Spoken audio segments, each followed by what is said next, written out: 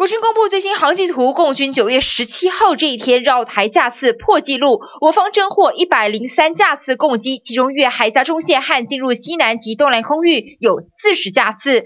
上次单日最多是四月环台军演时曾侦获九十一架次。国军从三年前的九月十八号开始主动公布共军动态，三年后的今天单日绕台架次再度创新高。共军持续的军事骚扰，已导致紧张情势急剧升高。恶化区域安全，为北京当局负起责任，即刻停止这类破坏性的单边行为。共军增加扰台次数，但专家不认为是支持台湾。西方盟国联合军演就是呃剑指中国，呃形成一个战略包围的态势，所以目前中共的军事上的一个回应。只是有专家也嗅到另一个不寻常。九月十三号，共军派出三架次运有二十空中加油机；十七号有两架次，等于一周内来了五架次运有二十。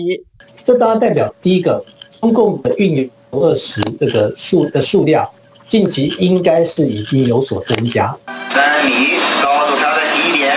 进行空中加油时，加油吊舱会释放顶端带有稳定伞的加油软管。可以同时给两架主战飞机加油。空中加油可以确保战机能长时间滞空，维持空中优势，更能确保远征至我东南或东部空域。然共军可能是配合着运油二十机队的成长，开始让他的各战斗机部队轮流前往台湾南方或东南方的空域，执行长距离的空中加油任务。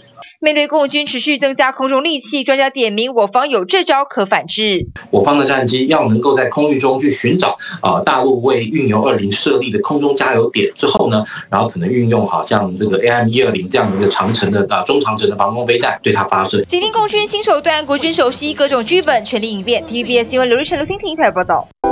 想看最完整的新闻内容，记得下载 TVBS 新闻网 APP。